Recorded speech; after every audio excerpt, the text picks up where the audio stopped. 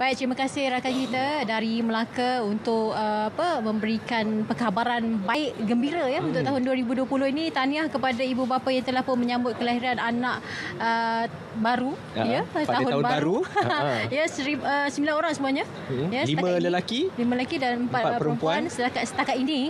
Hmm. Uh, jadi kita harapkan semoga kelahiran itu dapat memberi makna yang lebih besar lagi untuk anda sekeluarga. Tahniah Insya-Allah amin. Semoga menjadi anak yang berbakti bukan saja kepada ibu bapa, hmm. Keluarga, uh, malah agama, bangsa dan juga negara. Insya-Allah. Mm-hmm. Uh, ini satu tarikh yang mudah untuk diingati kalau mm-hmm. anak anda lahir pada 1 hari bulan 1 2020. Baik, mm-hmm. kita uh, ingin mendengar yeah. uh, menyaksikan sama-sama amanat daripada uh, Yang Berhormat Perdana Menteri sepanjang tahun baharu 2020. Mm-hmm. Sama-sama kita saksikan amanat yang diberikan. Bismillahirrahmanirrahim.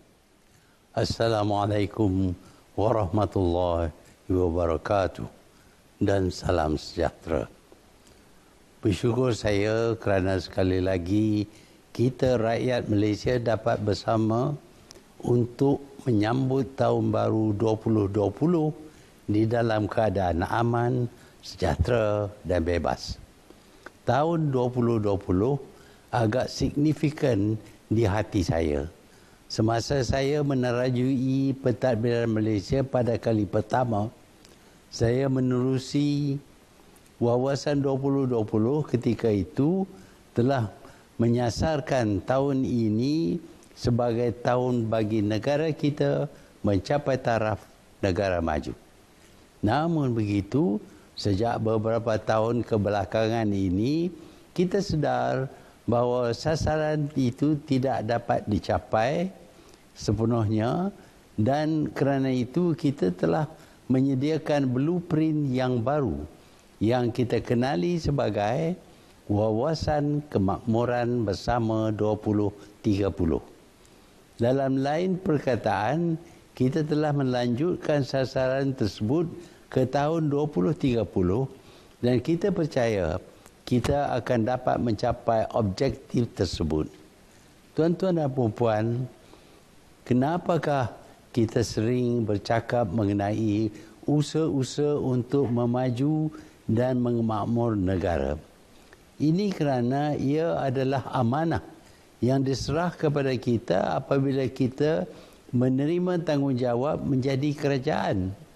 Kerajaan tidak boleh bersikap berserah kepada keadaan semasa tanpa memikir strategi dan perancangan yang difikir sesuai untuk memaju dan memakmur negara.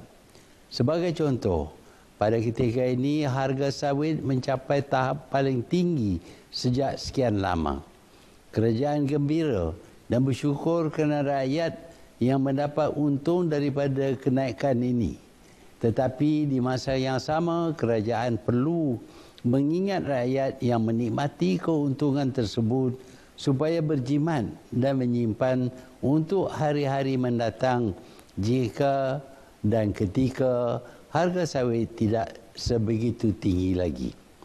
Di samping itu, kerajaan menerusi agensi-agensinya akan terus memperkenalkan dasar-dasar untuk memastikan rakyat dapat memaksimalkan hasil daripada industri tersebut selain mencebur ke dalam industri lain. Secara ringkas, kita perlu terus berusaha dan tidak bergantung kepada takdir untuk memaju diri kita. Baru-baru ini kita telah mengadakan KL Summit di mana beberapa pemimpin negara Islam telah hadir dan berbincang secara khusus strategi dan kerjasama yang mampu meningkat ekonomi dan kemajuan negara-negara Islam. Selain untuk memaju dan membuat negara Islam tidak lagi bergantung kepada negara bukan Islam yang termasuk negara yang memusuhi Islam, kerajaan juga melihat KL Summit itu sebagai peluang untuk meneroka bidang-bidang baru yang kritikal dan perlu bukan saja kepada umat Islam tetapi juga rakyat Malaysia yang menganut agama lain. Tuan-tuan dan puan-puan, KL Summit itu juga merupakan peluang kita memperlihatkan kepada negara Islam yang lain bagaimana kita berupaya hidup bersama dengan penganut agama lain tanpa konflik dan pergeseran yang terlampau. Kita mungkin tidak sedar bahawa setiap kali kita mengadakan persidangan antara bangsa seperti KL Summit, Malaysia sebenarnya telah memperlihatkan kepada dunia betapa kita berjaya hidup aman damai di tengah kepelbagaian kita. Tidak pernah terlintas di pemikiran kita untuk memperkenal undang-undang mengasingkan rakyat atau pendatang berasaskan agama ataupun bangsa. Walaupun kita mempunyai beberapa peruntukan untuk kaum bumi putra, ianya untuk memastikan kelangsungan mereka dan bukan bersifat menidak dan mengambil hak rakyat yang lain. Kerana itu kita dapati kekayaan negara tidak dipegang oleh bumi putra semata-mata malahan dikongsi dan dalam banyak keadaan dipegang oleh kaum yang lain. Perkara ini agak sukar difahami oleh negara-negara lain di mana kaum majoriti sering memegang kuasa dan ekonomi negara.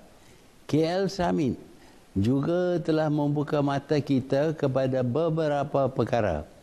Tetapi khususnya saya ingin menarik perhatian kita kepada pentingnya rakyat negara yang tercinta ini bersatu padu demi kelangsungan kemajuan negara serta membina kekuatan bangsa. Kita lihat bagaimana beberapa negara yang turut serta dalam KL Summit ini yang menghadapi pelbagai sekatan. Bukan sahaja mereka berjaya mengatasi keadaan ini, tetapi mereka juga telah berjaya memajukan negara mereka. Ini bukan sesuatu yang datang bergolek, tetapi adalah hasil dari kebersedaran akan perlunya berusaha membina kekuatan bangsa menerusi kerajinan serta kegigihan mempelajari ilmu serta membina pengetahuan yang tinggi. Pengetahuan yang tinggi dapat kita gunakan untuk membina kekuatan negara dalam pelbagai bidang.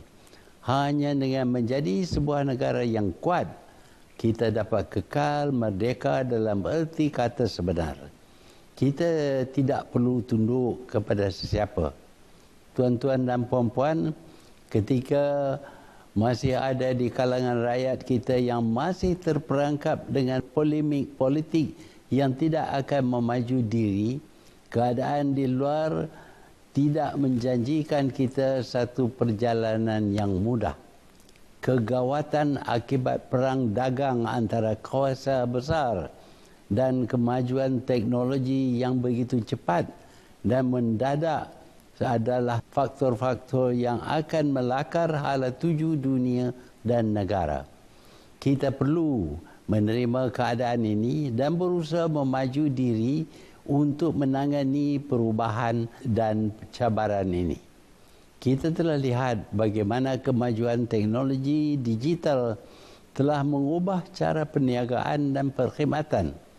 Mereka yang memahami perubahan ini telah mencari peluang untuk kerja dan pendapatan yang tidak berubah telah kehilangan punca kehidupan. Kerajaan akan terus membantu rakyat untuk berhadapan dengan cabaran-cabaran baru ini menerusi program yang telah disedia dan akan diperkenal. Dan harapan kerajaan ialah rakyat akan mengambil peluang ini dan bersama-sama dengan kerajaan untuk memajukan diri mereka apabila mereka berjaya, kerajaan dan negara turut menumpang kejayaan tersebut. Tuan-tuan dan puan-puan, sebelum saya akhiri perutusan ini, saya sekali lagi pohon rakyat untuk bersama-sama dengan kerajaan untuk memajukan negara ini dengan memajukan diri.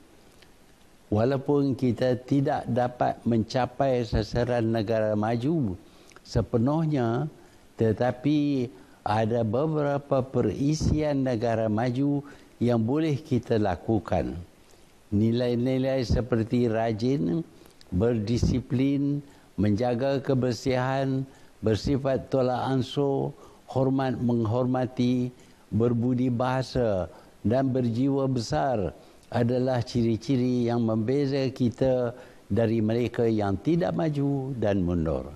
Sifat-sifat mulia ini mewakili kesemua budaya, agama dan bangsa dan kepelbagaian Malaysia seharusnya membuat kita lebih peka kepada nilai-nilai tersebut. Ayuh kita raikan persamaan dan pinggirkan perbezaan. Selamat tahun baru 2020. Terima kasih.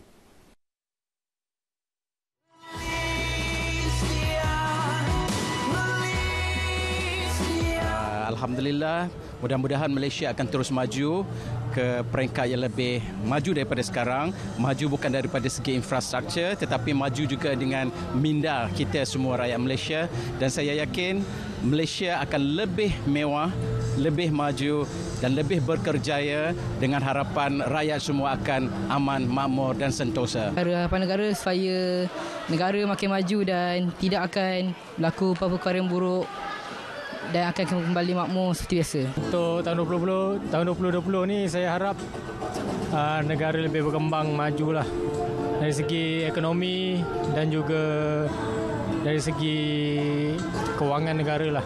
Harapan untuk negara supaya negara kita mestilah aman, bersih, um, uh, apa ni satu hati semuanya tak ada kira perkauman. Uh, harap negara lebih maju lah buat, buat negara lebih aman lah harap 2020 nanti untuk negara saya harap banyak peluang pekerjaan untuk kita punya generasi muda lah saya harap uh, negara kita akan lebih stabil. Uh, kita tahu banyak isu sekarang. Uh, saya harap kerajaan akan cuba menstabilkan keadaan lah. Ekonomi, infrastruktur semua sekali. Uh, saya mengharapkan semua bidang yang berkaitan, bidang sukan, pendidikan semua pun akan jadi lebih maju. Uh, itu saya harapkan negara kita akan lebih maju untuk 2020 mencapai wawasan 2020.